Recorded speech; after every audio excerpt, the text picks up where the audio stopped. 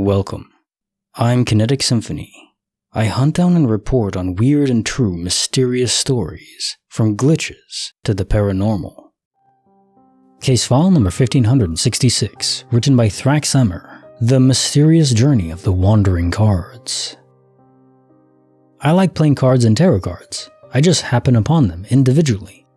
I'll walk down the street and bam, I'll spot a card. I've not lived in areas that have a heavy gambling presence either.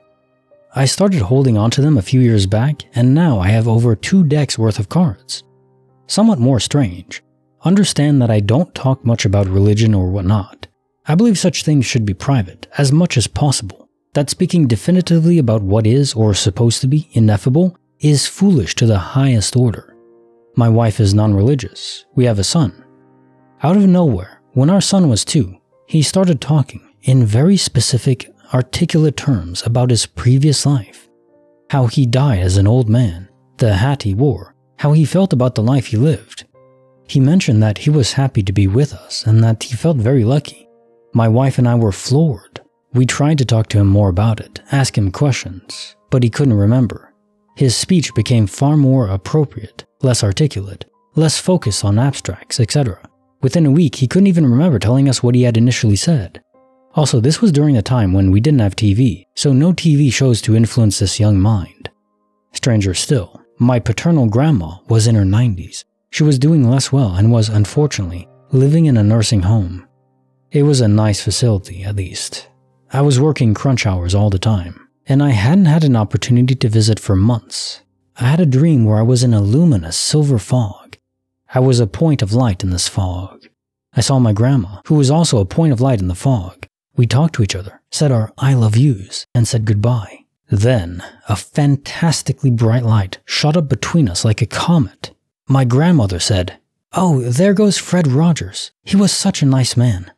I woke up suddenly. On the way to work, I heard on the radio that Mr. Rogers, Mr. Fred Rogers, had just died. Two weeks later, my grandma passed away. I have more stories, as I'm sure we all do. Life is weird, and I love it. Case answer file 1566 The Mysterious Journey of the Wandering Cards. People can have specific attunement to various different kinds of objects. For you, as cards, for me, it's coins. I tend to find them all over the place, just walking around outside. In the dirt, on the pavement, it's weird. I guess it's not that inexplicable. People, especially these days, tend to not really care about change, but still, it's something that occurs to me. Do you have anything that you're kind of attuned to that you always seem to find in weird spots? But I do agree that it is foolish. Foolish is maybe a strong word, but I guess it applies. To be certain of the reality of the universe. There's so many variables and so many possibilities. What can apply to one theory can apply to another. So, are you absolutely certain of what you think is true for the nature of the universe? I'm not. There's so many possibilities. Of course, I gravitate to more towards the simulation theory, but even that is just a stopgap because then you go to the real universe, and then is that a real universe or another simulation? Or is there a God in that universe, a creator? Or is there no creator? And this is all sort of like a repeating cycle, the big crunch, where the universe expands and contracts, expands and contracts again and again for infinity. I don't know. There's things I prefer. I just, I don't know. With all those variables, I think it's fair to just say, I'm not sure. but there are theories I gravitate more towards.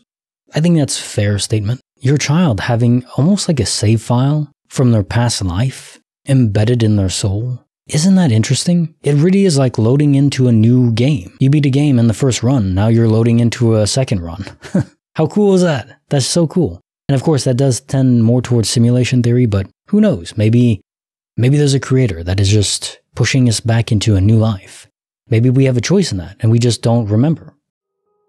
Case file number 1567, written by, it goes the other way too, a chance encounter with a pink sock. Okay, in 2009, I performed a show on a boat at the Edinburgh Festival. It was a pretty stressful show. The cast were there for 10 days, performing 5 shows a day, back to back shuffling back and forth between the boat and our flat with a change of clothes each day so that we could go out straight after the last show. Anyway, one day we're walking from the boat to the flat and I see a pink sock on the pavement. I pick it up, it's pink with a white cupcake on it. It has to be mine. I have this exact same pair of socks with me in Edinburgh. I must have dropped it as it's so close to the boat. The rest of the cast is all grossed out that I'm touching this sock and considering taking it back to the flat. But I'm totally convinced it must be mine. Get back to the flat, and it wasn't. It kinda blew my mind that someone in a small vicinity had the same distinctive socks as me and proceeded to lose one on my path home. Who loses a sock? So I kept the extra sock. Now I have three. Case file number 1567. A chance encounter with a pink sock.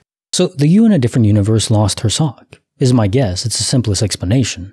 In that universe, she's walking around, suddenly gets back to the flat and realizes she's missing a sock and it's on the pavement in a different universe. or it could be an extreme coincidence, for sure. If it was a normal girl just wearing the same kind of sock that you have and then suddenly somehow lost it on the pavement there, hmm, maybe it got wet, maybe it was raining and she took it off there and didn't want it. There's a striking similarity in preferences there. So I think if you found this girl, you'd get along quite well. So be on the lookout for your sock twin. Bonus file written by Acrobatic Archer 805 The Snowstorm Spectre. Maybe about 10 years ago, I was working as a manager at a smallish restaurant chain. I'd been with the company for a while, but was fairly new at this location. It was in Sturbridge, Massachusetts, USA, which probably doesn't mean anything to most people. But the two jobs I'd had prior in that town are a little locally famous for being haunted. I've had my share of ghost sightings and weird stuff. This was different. The building here was three floors. Bottom was an antique store and half of the restaurant, then the second floor was all the restaurant. On the third floor was an abandoned ballroom with all glass walls that likely once overlooked a lake behind the property, but a hotel had been built since and blocked the view. Super creepy space, but nobody ever went up there. Might be irrelevant, but that's the property. We had a pretty bad snowstorm this particular day. I'd been shoveling and salting the walkways and went in to start my shift. I'm walking from the kitchen on the second floor and down a couple steps to the dining room area, and something hit me. I squeezed my eyes shut, brought my hands up to my face, and fell back a little and yelled out, Come on, guys! At that moment, I thought someone had taken a bucket of rock salt and threw it at me. It felt like thousands of little pieces of something hard pelted me on my whole body. I was half expecting it to be a prank, but I opened my eyes after a bit and it was like pulling my shirt to check for salt or something all in my bra, because I felt it literally everywhere. Here's the thing nothing was there. Once I realized I was fine and not covered in a pile of salt or rocks or whatever, I looked around. And two of the waitresses were just staring at me, like stop setting tables wide eyed, because their perspective was that I just stopped, put my hands up to my face to shield it, fell back, yelled out, Come on, guys! And then started pulling my shirt like I was trying to shake something out of it. They saw me react, but nothing that would cause a reaction. I'm not sure exactly what that was or what it could have been. Case notes for the bonus file The Snowstorm Spectre.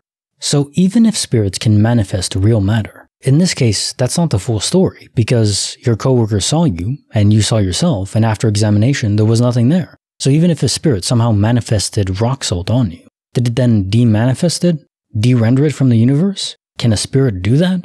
That would be next level, for sure. Maybe a creation of your own mind induced by a spirit. So it wasn't real, but it was all happening in your head. Of course, that can make it seem very real. But regardless, it must have looked absolutely hilarious from your coworkers' perspectives. It's like, Wah! At least you didn't go full Alex Jones, ripping your shirt off. oh my. Now, time for the quote of the day. The best years of your life are the ones in which you decide your problems are your own. You don't blame them on your mother, the ecology, or the president. You realize that you control your own destiny. Albert Ellis. By and large, true. There are exceptions, of course. You don't control where you're born or if you get a incurable genetic disease or something like that. But I think as a general statement, it applies. And especially the longer out in the time frame you go, the less luck matters and the more your own choices and skill matter. You see this on YouTube. It's the same thing where a single video doesn't really matter, and it's mostly luck if it goes really high or not, to an extent. If you're producing something to the quality of Kurzgesagt, the channel that makes these animations of really interesting theories and stuff, they're so good that there's no chance they wouldn't succeed, in my view. But if you're just really good, then it, there's a certain element of luck to it, but if you stretch it out over years and years or decades, then luck is much less relevant. If you're extremely unlucky, maybe then you still won't make it in any field. It doesn't have to be YouTube. It applies in general. We make our own luck in the long term. But there's plenty of short term fluctuation and chaos. You have to learn to live with that and even enjoy it, because it does make life interesting. Like the video, subscribe, hit the bell. Kinetic Symphony signing off.